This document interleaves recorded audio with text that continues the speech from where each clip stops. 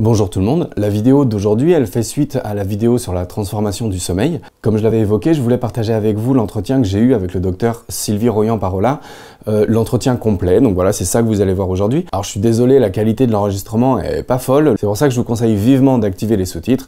J'ai un peu galéré à les faire, voilà, c'est pas des sous-titres automatiques, donc vous pouvez, vous pouvez y aller. Voilà, donc il y a pas mal euh, d'infos complémentaires dans cet euh, entretien. J'espère que ça vous intéressera, et du coup je vous dis à très bientôt, il y aura quelques surprises sur la chaîne prochainement. Bon visionnage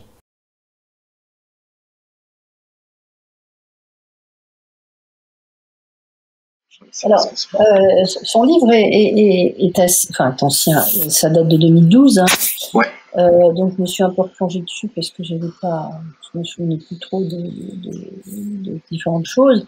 Mais c'est un, gros travail d'historien qui, qui, est très intéressant. Alors, ce qui est, intéressant, c'est que il dit que quand même la durée de sommeil était euh, globalement entre 6 heures et 8 heures. Hein, et c'est ce qui est retrouvé tout le temps, tout le temps, tout le temps, tout le temps. Il y a une étude qui a été faite euh, par des anthropologues sur le sommeil euh, de populations indigènes qui vivent sans électricité autour de l'équateur. Et la surprise, ça a été qu'ils ne dormaient que 6 heures. Enfin, c'était mesuré avec des actimètres et tout. Il dormait pas euh, plus en fait. Pardon? Il dormait pas plus en fait. Il dormait pas plus, oui. Alors que euh, effectivement, on a un petit peu tendance à dire 6 heures c'est le minimum, euh, il faudrait dormir plus, etc. Et on voit que dans des populations qui sont libres de s'organiser, pour le coup, il n'y a pas il n'y a pas la pression de, de, de, de, la télévision, de, des écrans, etc euh, et une population sans électricité, bah, ils dorment quand même en moyenne autour de ça.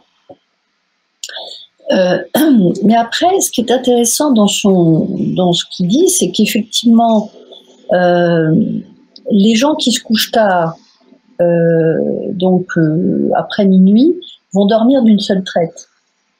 Parce qu'en fait, surtout à l'époque, se lever tard ne devait pas être le lot, euh, le lot habituel. Ça devait être très très mal vu. Et donc, se lever à 6 heures ou 7 heures du matin, c'était le lot, le lot commun. Et euh, du coup, euh, bah, effectivement, il n'y a pas trop de choix, il faut dormir d'un seul tenant. par contre, quand il parle des, des, des, activités, enfin du sommeil en deux, en deux morceaux avec un premier sommeil et une deuxième partie, ça, ça m'a beaucoup intéressé parce que, en fait, il fait un, enfin, il joue aussi un peu sur les mots parce que euh, dans toutes les mm, sociétés, on parle de premier sexe. c'est ma montre. euh, qui, qui, toutes les sociétés, disons, vont euh, parler de premier sommeil, de first sleep, enfin bon, selon évidemment la, la langue. Et euh, c'est de, notoriété commune, et après il y a des éléments scientifiques pour le, pour le montrer, que la première partie du sommeil n'est pas la même que la seconde partie. C'est-à-dire qu'on a une physiologie du sommeil où euh, le début du sommeil est essentiellement constitué par du sommeil profond, donc on a vraiment le sentiment de, sombrer et de, partir très loin, alors que la deuxième partie du sommeil, à partir de 3-4 heures du matin, est un sommeil plus léger, euh, beaucoup plus entrecoupé euh, de pensées ou de rêves. Et donc, quand il y a des troubles du sommeil, bien souvent, quand ça touche pas l'endormissement, ça va toucher cette partie-là. C'est-à-dire que le sommeil va être euh, un petit peu explosé dans cette seconde partie de nuit. Euh, donc la nature même du sommeil entre la première partie et la deuxième partie n'est pas la même. Donc il y a un peu une ambiguïté sur les mots parce que le premier sommeil, ça ne veut pas dire nécessairement qu'il y a une première période de sommeil à un moment donné et une seconde période de sommeil beaucoup plus tardivement dans la nuit. C'est peut-être simplement deux moments différents de, de la nuit dans une certaine continuité. Donc là-dessus, c'est pas très clair. Et après, euh, il dit bien quand même que c'est chez des gens qui se couchent tôt. Alors, se coucher tôt à l'époque, c'est se coucher entre 9h et 10h, c'était le courant. Se coucher avant 9h était quand même plus rare. Mais on peut imaginer, notamment en hiver, que euh, du fait de la baisse de la luminosité et des grandes nuits, euh, il y avait certaines personnes qui se couchaient assez tôt. Alors, 8 h c'est probablement très très extrêmes, mais entre 8 et 9, il devait y en avoir. Or là, qu'est-ce qui se passe? Sur le plan physiologique, quand on se couche très tôt et qu'on se lève, bah, euh, mettons donc 10 heures, 11 heures après, on va donc passer beaucoup de temps au lit pour un temps de sommeil qui sera toujours entre 6 et 8 heures. Donc le cerveau, qu'est-ce qu'il fait? Il va découper le sommeil pour que le temps passé sur le, dans le lit soit un, temps où on va dormir, mais on va dormir fractionné. Et c'est strictement ce qu'on trouve chez les insomniaques, c'est-à-dire que les insomniaques se couchent beaucoup trop tôt et se lèvent souvent très tard pour rattraper du sommeil, etc. En se disant, bah, comme ça, moi je dors, et en faisant ça, en fait, ce qu'ils font, c'est qu'ils aggravent leurs problèmes. Parce qu'ils passent beaucoup trop de temps au lit et du coup, il y aura nécessairement des trous dans leur sommeil. Alors après que euh, dans certains milieux, dans certaines familles, euh, euh, il y a eu une organisation de ces éveils et, il faut dire que s'il y en avait un qui se réveillait du fait de la promiscuité il y avait vraiment plutôt une, pièce pour dormir euh, dans la famille. Donc du coup, tout le monde, euh, bah, tout le monde se réveille. Hein. S'il y en a un qui se réveille, tout le monde. Oui, voilà, c'est ça. En fait, ce qu'il dit même, c'est que euh, en fait, cet état de, enfin, cet état de veille qu'il nomme d'orveille. au milieu de la nuit, c'est vraiment un espace presque social, un espace temporel social où, bah voilà, on va faire les petites tâches ménagères, même s'occuper des bêtes si pour pour les paysans, euh, parler un peu. Enfin voilà, c'est comme ça qu'il occupe un peu l'espace. Voilà. Mais euh, bon, après, je suis pas sûre que euh, les enfants participaient vraiment beaucoup parce que les enfants ont, un, temps de sommeil qui, des besoins de sommeil qui sont supérieurs. Mais disons pour un adulte, dans la mesure où il se couche tôt, il se lève pas aux aurores, enfin, il se lève pas à 5 heures du matin, il va être nécessairement dans un temps, dans un temps où son sommeil va s'entrecouper, où cet éveil va se constituer. Alors après, ce qui est intéressant, c'est qu'il, du coup, il a dit, euh, il s'est dit qu'il y avait un, sommeil en deux morceaux, et que c'était entre guillemets physiologique, et que c'était du sommeil biphasique. Mais Thomas Baer n'a jamais décrit ça. Il a parlé du, sommeil biphasique, oui, mais pas sur ce rythme-là. C'est-à-dire que, les, travaux de Thomas Baer sont dans toute cette mouvance de la chronobiologie, euh, des années 80, où en fait on a commencé à comprendre comment fonctionnaient euh, euh, les rythmes biologiques et sur le fait notamment que euh, il y avait, enfin chaque moment, disons de la journée n'est pas identique dans sa fonction à, un autre moment. Donc on a des moments où on fait certaines choses, des moments où on en fait d'autres, et ça permet d'ailleurs sur le plan physiologique de préparer le corps et les fonctions pour qu'il soit efficace à un moment donné et qu'il se repose, entre guillemets, à d'autres moments. Et donc, on a une espèce de cartographie temporelle de notre organisme qui fait que certaines, fonctions vont prévaloir à certains moments vont se mettre en, en à d'autres. Pour le sommeil, on a identifié de cette manière que, comme il était très lié en fait au rythme de la température, et la température, c'était un des, un des rythmes plus facilement, enfin la température interne, je parle pas de la température externe, euh, la température interne a été un des premiers rythmes qui a été mesuré sur le plan chronologique parce que facile, enfin relativement facile à mesurer. Et là, on s'est aperçu d'une chose, c'est que le rythme de la température, c'est pas 37 degrés toute la journée, c'est un rythme où vous avez euh, un, un, maximum qui va survenir euh, en fin d'après-midi et un minimum qui va survenir vers 4 h 5 h du matin. Mais, ça, ça a été noté assez vite, il y a euh, un, creux de température qui va euh, survenir à peu près euh, en harmonique avec le creux du, du, milieu de la nuit, qui est vers 2-3 heures de l'après-midi. Il y a un creux thermique et qui correspond quand on a mesuré les expériences, Thomas Fer a justement euh, fait des expériences où, en fractionnant le, temps, euh, le rythme, disons, de, la journée en, en fraction d'une heure trente, ou de trois heures, non, plutôt c'était trois heures, Thomas, où il faisait, enfin, il y avait une heure pour se délasser, une heure pour dormir, une heure pour, pour faire les expérimentations, donc ça se reproduisait comme ça sur les 24 heures. Il a montré qu'il y avait des moments où on s'endormait plus facilement que d'autres, des moments où on faisait plus de sommeil paradoxal, des moments où on faisait plus de sommeil profond, etc. Il y a effectivement deux moments où on s'endort le, plus, c'est vers 3-4 heures du matin et euh, vers 14-15 euh, heures euh, l'après-midi.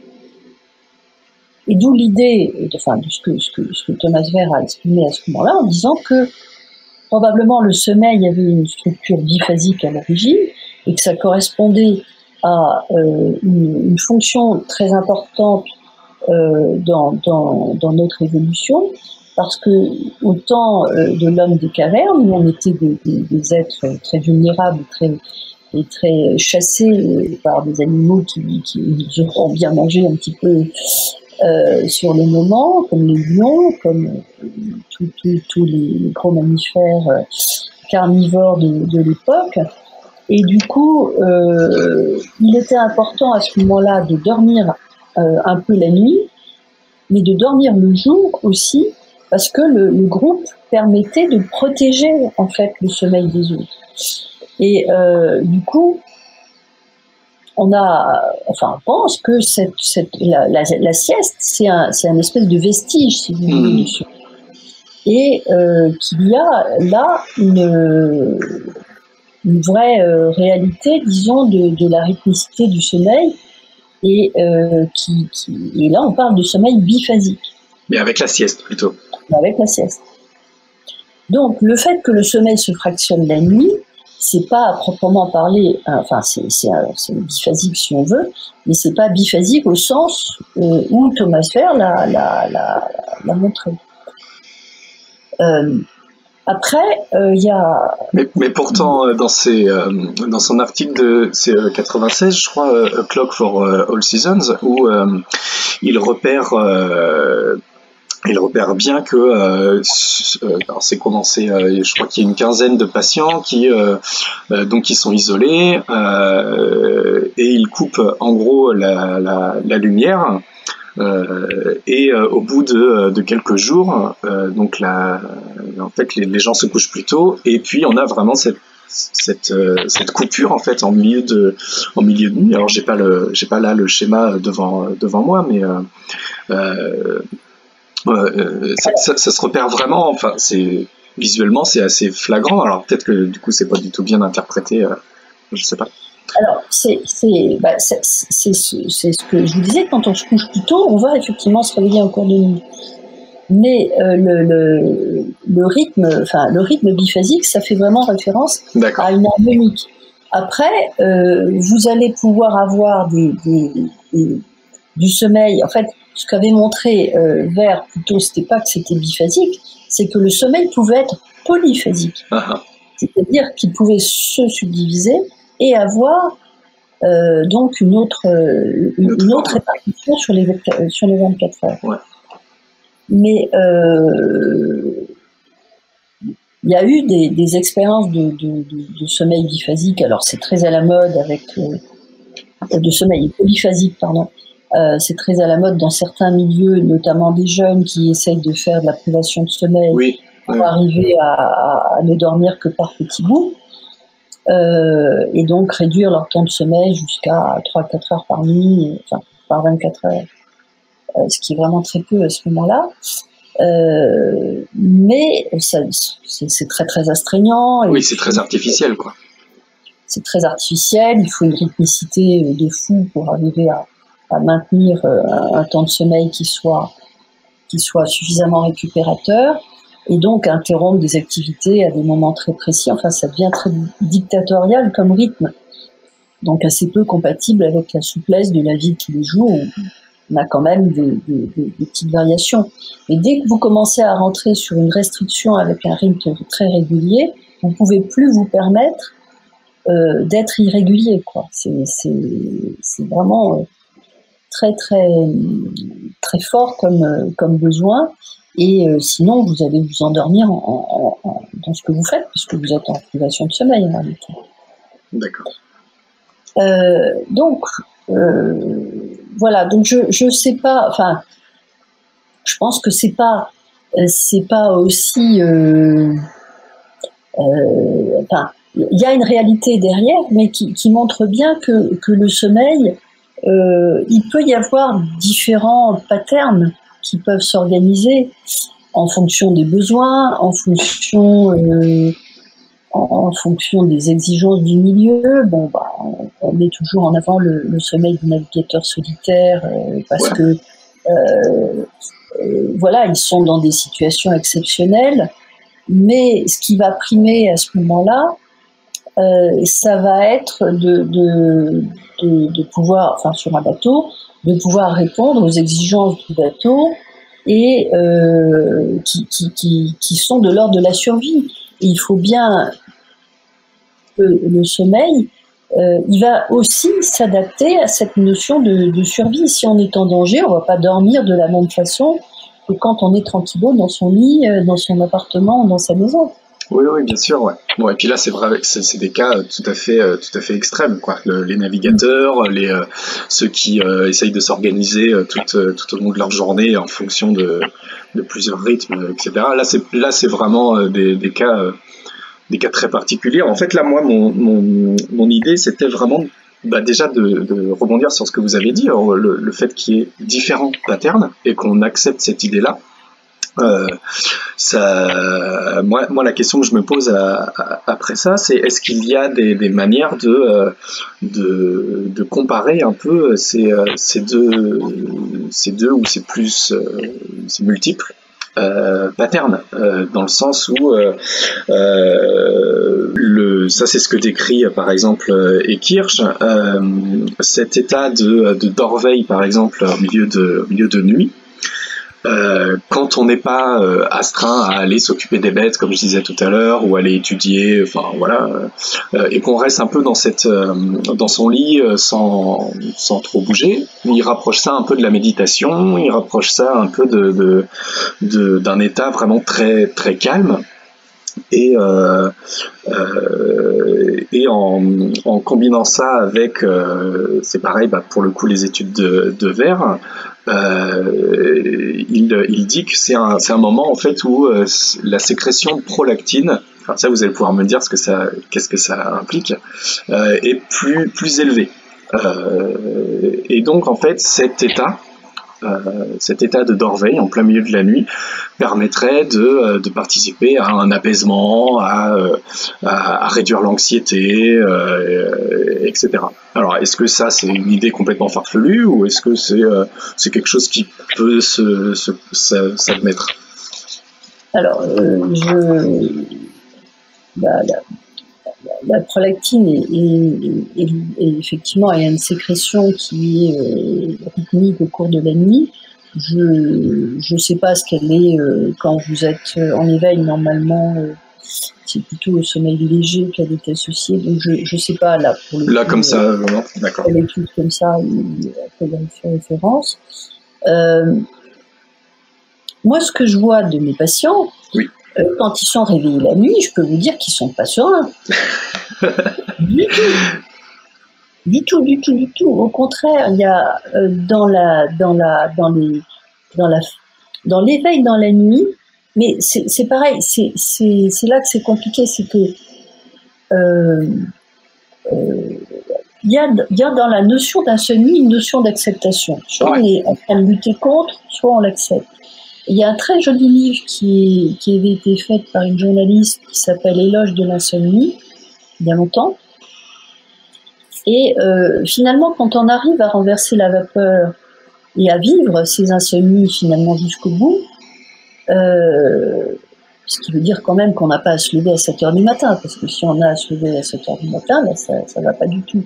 Et en fait, c'est cette pression-là qui, est problématique. Et donc, si on peut vivre son insomnie jusqu'au bout, euh, on peut changer le, point de vue et changer la façon dont, on vit. Donc, j'imagine que dans ces cas-là, on peut au contraire apprécier un certain moment euh, qui est euh, est peut-être un moment assez serein parce que tout est calme, parce que on est est tranquille, euh, voilà. Mais l'expérience de l'insomnia qui se réveille la nuit pendant deux heures, c'est pas ça. il va terminer à fond la caisse sur des idées qui deviennent toutes compliquées alors que euh, c'est au départ ça peut être des idées très simples, mais tout va prendre un aspect complexe, angoissant parfois, à tel point que quand il se réveille le lendemain matin euh, après avoir dormi, il va se dire mais mais pourquoi je me suis fait des films comme ça? Donc la, la sérénité du moment du réveil de la nuit je, veux bien croire que dans certaines circonstances ça peut arriver, mais pas chez l'insomniaque. Oui, en fait, c'est que c'est que je pense qu'il fait référence à, à, une époque où euh, c'était, euh, enfin, pour le coup, en suivant son hypothèse, euh, tout à fait admis en fait. c'était quelque chose de pas. Mais enfin, à l'époque, on faisait pas de dosage de la proactine, donc si vous voulez, oui, oui, oui, oui. Ça, c'est sûr. voilà.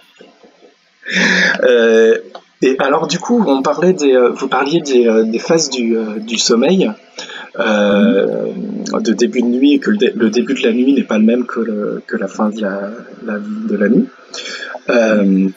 Le fait comme ça de dormir donc sur, sur une plage horaire de 12 heures, est-ce qu'il y a une, une, incidence sur ces, sur ces phases de, de la nuit, ces phases de sommeil, je veux dire? Est-ce qu'il y a est-ce que ça va modifier le sommeil paradoxal, le sommeil profond, euh, etc.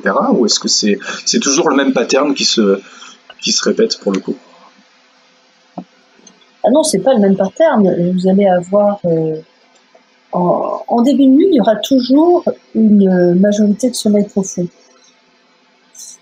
Après, ça va dépendre de l'âge des gens, mais plus vous allez vieillir, moins vous avez de chances de faire du sommeil profond en, en seconde partie de nuit. Euh, puisque le sommeil est habituellement vraiment euh, avec ce distinguo, sommeil profond dans la première partie, le sommeil léger et sommeil paradoxal dans la seconde partie. Mais chez les jeunes, on, on voit parfois réapparaître un peu de sommeil profond en, en seconde partie. Mais après, euh, avec l'âge, ça, ça, disparaît totalement. Où il y a une désorganisation vraiment du sommeil qui, qui est importante, c'est dans le cadre de, des dépressions vous avez un sommeil qui est extrêmement fractionné. Et là, vous pouvez avoir euh, effectivement une espèce de, de, sommeil paradoxal vers sa rythmicité normale, euh, le sommeil profond aussi.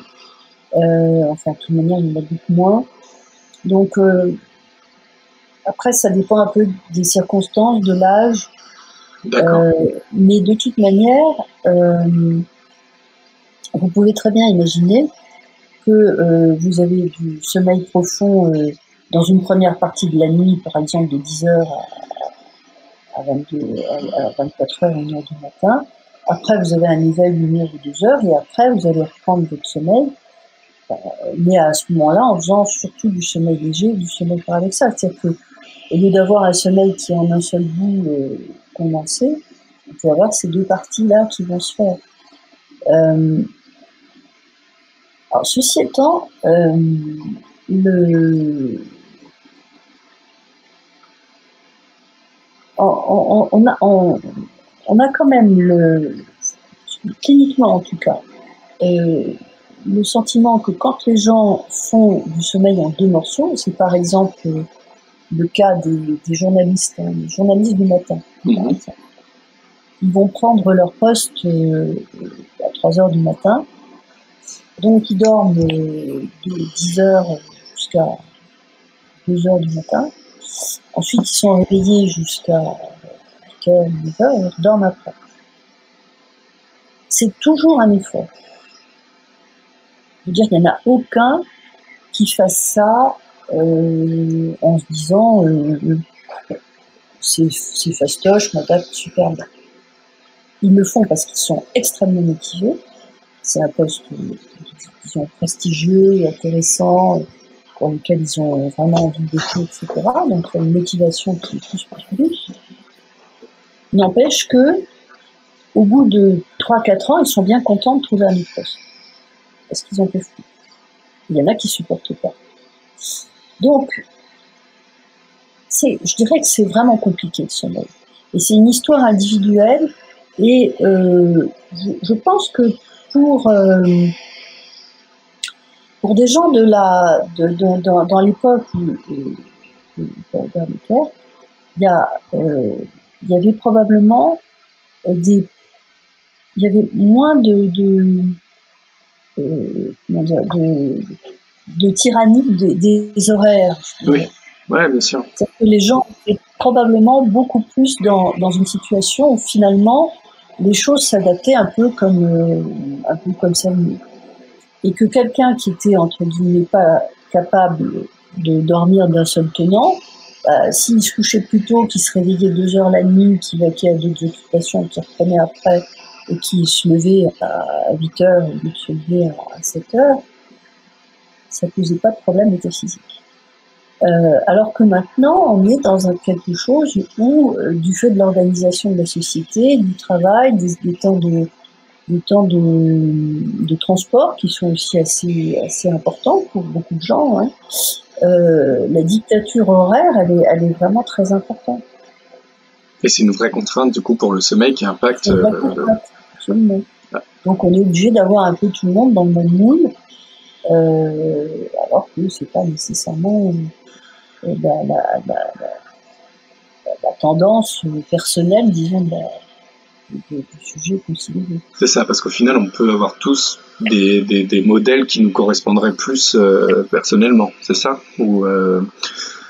Oui, euh, alors déjà, il y a des modèles qui sont, enfin, qu'on connaît, c'est-à-dire qu'on a distingué les gens du matin, les gens du soir, les cours dormeurs, les dormeurs. Bon, bah, ça, évidemment, ça fait déjà une hétérogénéité euh, des, qui, qui permet de, de, de, de, comprendre déjà la multiplicité des aspects du sommeil. Et c'est bien sûr beaucoup plus subtil. Et vous avez des gens qui vont trouver des équilibres euh, bah, qui sont, euh, qui sont euh, peut-être un peu plus improbables que ce qu'on voit dans la norme, mais qui fonctionnent correctement avec. Oui, oui. Alors justement, euh, il y a des, des études aussi qui parlent de, c'est des choses que je voudrais vérifier avec vous, euh, euh, qui parlent du travail, de l'impact du travail de nuit et du travail posté, donc de, de 8, 3, 8, euh, entre autres, euh, de, de, cet impact-là sur les, sur les cancers.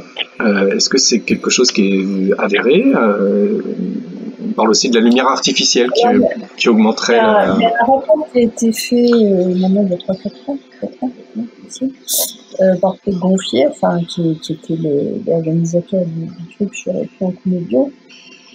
Alors, on peut mettre des liens avec différents types de cancers, mais ce qui ressort surtout, c'est les cancers hormonodépendants. C'est-à-dire le cancer du sein chez la femme et euh, le cancer de la prostate chez l'homme. Là, il y a, plus d'indicateurs qui montrent que là, on est dans quelque chose où, euh, visiblement, on favorise l'émergence de ce style de cancer. Pour les autres, c'est pas évident. D'accord.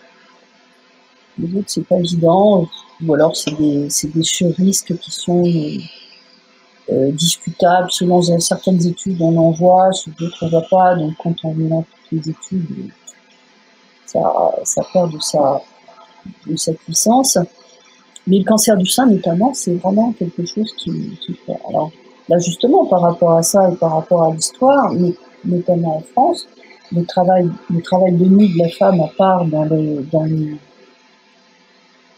dans les métiers de santé, euh, c'était pas autorisé jusqu'en dans les années 90 ou quelque chose comme ça. Enfin, dans, ces, mm. ces eaux-là, c'était pas longtemps, quoi. Euh, et avant, travailler en usine pour une femme, en France, c'était pas possible. Mmh. Ou la nuit, quoi. Ouais.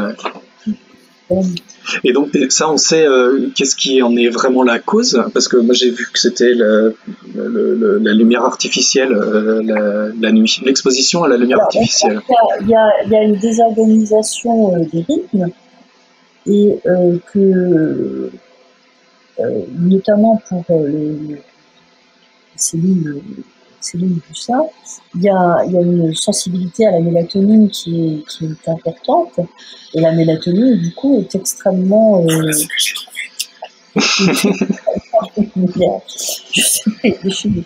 euh, euh, la mélatonine est, est, est, une hormone qui va réguler justement euh, le, la, la, la, synchronisation des gens et qui est sensible à la lumière, enfin la lumière, Et la lumière artificielle la bloque aussi. Donc du coup, ça désorganise complètement. En fait, le problème du travail de, nuit du travail horaire alternant, c'est qu'il va y avoir vraiment une désorganisation circadienne euh, tout le temps. Sauf au moment des vacances où il y a une tendance à, à reprendre un rythme plus normal. D'accord. D'accord. Euh, euh, est-ce qu'on peut dire que, euh, de manière générale, euh, on, manque plutôt de, sommeil dans notre mode de vie actuel? Est-ce que c'est quelque chose qu'on sait mesurer ou, pas? Alors, c'est ce qu'on dit. c'est ce qu'on dit qu'effectivement, on est dans une société qui manque, qui manque de sommeil. alors, si on regarde en fait, les... il y a une très belle étude qui a été euh, faite sur euh, une rétrospective de 50 ans du temps de sommeil euh, et qui montre qu'en fait le temps de sommeil n'a pas changé. Par contre, ce qui a changé, c'est qu'il y a certaines populations, enfin un pourcentage de gens, qui se mettent vraiment en privation de sommeil. Et après, si on regarde la moyenne, la moyenne globalement, elle a, c'est pas modifié. Donc ça veut dire plutôt dire que certains, euh, certaines personnes sont des sujets ayant des comportements à risque parce que ne dorment pas assez. Mais c'est pas un petit peu, c'est quand même 30% des, des, des, trentenaires et plus, euh, enfin 30-50 ans, qui font ça. C'est réparti sur l'âge ou il y a d'autres critères qui... Il y a des populations qui sont plus à risque. Alors, euh, dans les adultes, c'est vraiment la population entre 35 et 45 ans qui sont plus à risque de, ce style de, comportement où le sommeil est, considéré comme la variable d'ajustement euh, sur laquelle on va tirer. Euh, il n'y a pas d'autres critères que, que l'âge, je veux dire. Pas, ça pourrait être, je sais pas, une catégorie socio-professionnelle, ça pourrait être euh, une géographique, ça pourrait être, je sais pas. Si, il y a des catégories socio-professionnelles, c'est plutôt des, des cadres, dynamiques. Ouais. Plutôt que ça veut dire plutôt que les paysans, bah, ça dépend. Un paysan, l'été, il va dormir très très peu, il va être un peu sommeil, mais l'hiver, non. Hmm. Alors là, on parlait du manque, euh, du manque de sommeil. Euh, est-ce que, euh, est-ce que le manque de sommeil, quel impact ça a sur la sur la santé? Qu'est-ce qu'on peut moi, j'ai vu que ça pouvait favoriser le surpoids, la dépendance. est-ce que est-ce que c'est ce genre de choses qu'il y a autre chose? C'est-à-dire que là, pour le coup, depuis les années 2000, euh, enfin surtout les années 2000, euh, il y a vraiment eu tout un lot de, travaux euh, avec des modèles expérimentaux sur la privation de sommeil et les réactions de l'organisme qui ont fait qu'on a vraiment progressé sur deux, deux aspects notamment qui sont la, la, régulation du poids et la régulation immunitaire. Avant, on, on imaginait que ça pouvait jouer parce qu'on avait remarqué que notamment les gens en travail posté étaient plus gros que, la moyenne générale, qu'ils avaient plus d'infections, plus de, trucs, mais on ne savait pas comment ça fonctionnait. Et par contre, après, depuis, depuis ces 20 dernières années, on a vraiment progressé là-dessus sur, ce qui se passe. Ce qui était beaucoup plus connu depuis, depuis très longtemps, Bon, c'est les effets immédiats, bien sûr, de la, privation de sommeil qui sont euh, la, fatigue, la somnolence le risque d'accident, notamment le lien accident de la route, euh, les accidents euh, euh, de, travail, de, gens qui travaillent sur les échafaudages, comme ça. En privation de sommeil, c'est sûr sont, ils sont moins adroits que les autres. Donc ça, c'est connu euh, depuis, euh, euh, depuis très longtemps, sur les effets sur la, vigilance, sur les performances, sur les commissions. Mais par contre, les effets à long terme, les effets cachés, on a connu, enfin on a su d'abord qu'il y avait vraiment un lien avec l'hypertension. Le fait de pas dormir suffisamment va entraîner une hypertension. et puis après, on a complété avec euh, toute une comorbidité qui est les maladies cardiovasculaires au sens large. Euh, parce qu'en fait, dès qu'on dort pas assez, Alors c'est là qu'il euh, y a des travaux maintenant qui essayent de mesurer la part de chacun parce qu'il y a des facteurs confondants. Et quand on dort pas assez, en réalité, on va, on va prendre du poids aussi. Donc, dès qu'on prend du poids, oui, c'est tout ce qui va être euh, le cortège de maladies liées à la prise de poids.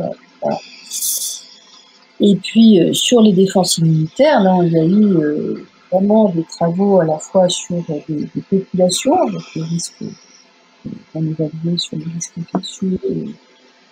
Et, puis, il y a eu des, des, études plus ponctuelles où, en privant de sommeil de deux heures par jour pendant dix jours des, jeunes, on se rend compte que des dix jours, euh, il y a une incidence sur le, fait de pouvoir attraper un virus qui a été inoculé, un périvirine, euh, sur le fait de, déclencher un virus pas, qui est beaucoup plus grande dans la, population qui est en privation de sommeil par rapport à ceux qui dorment suffisamment. Donc là, vraiment, on a étoffé euh, les, les, trucs, donc ça veut dire euh, le poids, le système cardiovasculaire, l'immunité, euh, et, et, tout le côté euh, avec notamment le risque dépressif. Euh, L'anxiété, c'est compliqué, c'est souvent lié avec. C'est le, c'est le, le manque de sommeil qui pourrait provoquer la dépression C'est les deux. Ouais, c'est un peu le. C'est, c'est, la dépression va s'accompagner de troubles du sommeil avec euh, souvent de grosses, un gros retentissement sur le sommeil, donc un temps de sommeil court, mais ça peut être un temps de sommeil long aussi, parce qu'il y a des hypersomnies dépressives. Euh, mais à l'inverse, si on fait une privation chronique de sommeil, on fragilise, on vulnérabilise beaucoup plus l'individu qui va faire une volonté, enfin, oui, oui. un risque quoi de, de, C'est à la fois une, une cause et une, une conséquence en fait. Ouais. Mm. D'accord. D'accord. Euh, alors, euh, je, voulais finir un petit peu sur euh, quelque chose, une partie qui m'a fait un peu, un peu sourire dans le, dans le livre de, de Kirsch. C'est en fait son. Il dit donc que, avec ce, modèle donc qu'il nomme lui biphasique, euh, en fait, on, prenait beaucoup plus de temps sur l'étude de, nos rêves. Euh, et il y avait un, il y avait beaucoup d'écrits euh, qui, qui parlaient justement de, des rêves qu'on faisait parce que bah, on se réveillait en plein milieu de la nuit et puis bah, c'était une des choses qu'on pouvait faire pour, s'occuper. Et, euh, du coup, je, je, me demandais si euh, est-ce que ce, le fait comme ça de, se réveiller la nuit, est-ce que ça, implique de se réveiller, de, se rappeler plus fréquemment de ses, rêves? Euh, Est-ce que c'est, logique de penser ça? Euh, Et puis, est-ce que les rêves, il y a un j'ai pas envie de dire un sens caché, mais en tout cas, est-ce qu'on peut s'en servir ou est-ce que c'est une utilité euh, de, de, rêver? Ou est-ce qu'on le sait pas ça? Alors, euh, il faut savoir que euh, spontanément, quand on est quand on est stressé, et on est stressé pourquoi? Parce qu'on doit faire, à, faire face à, à, un problème, quel que soit. Enfin, donc on est dans une, une dans un moment où mentalement on est beaucoup plus soumis à, une réflexion, à une, adaptation nécessaire. Euh, on va avoir beaucoup plus euh, d'éveil, euh, enfin on peut avoir plus d'éveil dans la seconde partie de la nuit, c'est-à-dire dans, cette, dans ce moment où à partir de 3-4 heures du matin, on va euh, être plutôt en sommeil paradoxal et plutôt en sommeil léger. Et dans ce moment-là, euh, si on se réveille, on va avoir de fortes chances d'avoir un souvenir de rêve. Et euh, euh, le, cette, richesse en rêve dans ces moments où on, est un, enfin, où on a des choix dans la vie, où on a des choses, des choses importantes qui arrivent dans sa vie, c'est lié au fait que ça nécessite un énorme travail d'adaptation à notre, à à nous-mêmes, euh, et que le cerveau met en route tout un système où effectivement il va y avoir un travail en back-office qu'on voit pas, bien sûr, mais où le rêve est la partie visible de l'iceberg. Mais pendant ce temps-là, ça veut dire qu'on traite l'information en fait. On a des données nouvelles qui nous arrivent, ça nous perturbe, ça remet en, cause tous les schémas qui étaient un peu établis.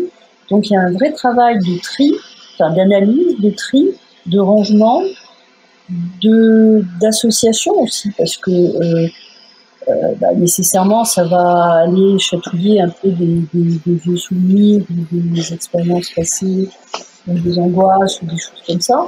Et du coup, il y a c'est ça le travail du rêve, c'est finalement que cette conjonction de tous ces événements-là qui se passent dans notre cerveau vont faire surgir des images, des histoires qui vont nous rester ou pas d'ailleurs, euh, mais qui, qui font l'objet du rêve. Mais en arrière-plan, ça veut dire que ça, ça se connecte, ça s'arrange et euh, ça, ça fait un gros travail derrière. Et euh, heureusement, en temps normal, on les oublie, parce que sinon on serait peut-être farci comme ça. D'ailleurs, il y a des gens qui ont une trop grande, une trop grande perception des rêves et qui, qui sont, qui viennent consulter pour ça. Hein, ah oui. J'en peux plus, je fais trois, quatre rêves. Alors c'est souvent des rêves euh, euh assez, euh, euh, moi j'appelle ça les rêves paranoïques. Enfin, vous vraiment une histoire avec euh, enfin, tout le décorum et tout. C'est, c'est, on comprend bien que ça puisse être épuisant parce que d'aller faire la guerre dans, dans les eaux pacifiques avec euh, trois navires qui se rencontrent, etc. C'est compliqué. ah, c'est la totale, quoi. euh, c'est amusant d'ailleurs, en plus c'est souvent des rêves très très précis, donc les gens pourraient, euh, dessiner en fait le, la proue du bateau, euh, mm. les sabres, etc. Enfin c'est très très très détaillé. Donc ça c'est un peu autre chose, mais enfin disons que pendant le travail euh, d'adaptation et euh, à, tous les stress, à toutes les difficultés, c'est vrai que c'est c'est là qu'on va probablement le plus rêver et que dans cette seconde partie de nuit, s'il y a un éveil, il y en a plus parce qu'on est un peu plus à, un peu plus à temps, disons, euh, on va se souvenir beaucoup plus de rêves. D'accord. Est-ce que le, le rêve n'est lié qu'au réveil. Enfin, vous ne vous souvenez d'un rêve que parce que vous vous réveillez. Parce qu'on se réveille en plein milieu. Oui. Enfin, et, puis euh, le souvenir du rêve ne va venir qu'à l'éveil, évidemment. Donc, plus vous allez avoir un fractionnement, plus vous allez avoir de chances de tomber dans un moment où il y a une formalisation sous forme de rêve. Et le matin, si vous voulez vous souvenir d'un rêve, il faudra vous poser la question est-ce que j'ai rêvé? Vous levez, vous allez complètement occulter tout. Vous n'en souvenez plus quand vous êtes devant votre café. Et si vous ouvrez les deux pierres, juste au moment du réveil, vous allez peut-être capter un souvenir. Et est-ce qu'on peut, euh, euh, pour le coup, se servir de, de ces rêves euh, comme d'un point d'appui, je sais pas, pour une pour une introspection ou quoi que ce soit parce que en fait les, rêves j'ai un peu l'impression qu'on laisse ça euh, beaucoup à des pseudosciences à, à des, euh, des, voilà le grand dictionnaire des symboles qui veut pas forcément dire grand chose euh, est-ce qu'on peut euh, vraiment s'en servir? Bah, on peut on devrait pouvoir se servir beaucoup plus de ces rêves parce que ce qui est intéressant dans les rêves c'est qu'on a une perception de la réalité de notre réalité c'est vraiment très intime. Hein. C'est pas la réalité générale, c'est pas etc. Mais c'est de notre réalité qu'on n'a pas à aucun autre moment. C'est-à-dire que euh, ça donne une, tonalité d'interprétation d'une réalité que l'on vit euh, qui, qui est pas qui est pas toujours euh, juste. Enfin, on a tous l'idée de certains rêves en disant bah, c'est complètement une Oui, oui. C'est absolument pas vrai. il y a certains moments où on peut avoir dans le rêve une perception, je dirais, aiguë d'une analyse, enfin, d'une situation euh, où on perçoit beaucoup plus précisément des, des, des rapports entre les gens ou de ce que les gens vous veulent vraiment ou pas, excusez-moi. Oui. Et euh, du coup, euh, on, est dans quelque chose où euh, le rêve, bah, c'est comme ça qu'il a été utilisé en psychanalyse, hein, bien entendu. on peut lui faire raconter quelque chose qui, qui, nous dit sur nous et qui nous dit sur nos rapports avec l'environnement. Enfin, le rêve, il a été utilisé au niveau des sociétés, politiques, euh, euh, que ce soit la, la pitié de Delphes, que ce soit dans toutes les sociétés euh, aborigènes d'Australie. il, y a, une notion de contact avec le divin, et euh, du moins, de contact avec quelque chose d'autre qui donne un sens éventuellement à une société. Mais bon, déjà, les soins individuels, ça donne une perception qui est euh, qui a un autre regard sur notre réalité à nous. Et c'est vrai qu'on n'a pas tendance dans notre société occidentale, tout au moins, euh, à s'intéresser vraiment au rêve. Et ce serait, ouais, c'est un peu un manque en fait, selon vous. Je pense que c'est un vraiment. Enfin, on doit, on doit paraître complètement, euh, complètement manchot pour des aborigènes euh, qui peuvent se dire, mais ils se servent absolument pas de leur rêve, ils sont vraiment nuls. bon. Bah, très bien, merci beaucoup. Bah, écoutez, voilà, si euh, alors sur la question, si vous voulez, je ne sais pas comment ça sera là, mais si vous voulez utiliser des morceaux de, de ah, euh, ben, en fait, je, pensais euh, déjà, euh, puisqu'il y aura une première une première vidéo en fait où je vais donc parler de Kirsch. Évidemment, là, je pense que j'utiliserai des petits morceaux, des extraits de, notre entrevue là. Et puis après, si ça peut intéresser, je pense que ça peut intéresser, c'était passionnant. Hein. je pense que ça peut intéresser des gens d'avoir cette entrevue en intégralité, si en plus euh, pour aller un peu plus loin, euh, parce que je vais pas tout utiliser évidemment quoi dans ma première euh, ma première vidéo. Donc ça c'est c'est pour ça que je vous, je vous posais la question hier. En fait, j'attendais pas forcément une réponse d'hier, mais c'était pour pas vous prendre au dépourvu. c'était juste pour vous prévenir quoi. Voilà. Ok, ok. Donc si ça bah. si ça vous va. A pas de souci. Ouais, bon bah c'est super. Merci beaucoup. Écoutez, je vous souhaite une bonne journée. Merci.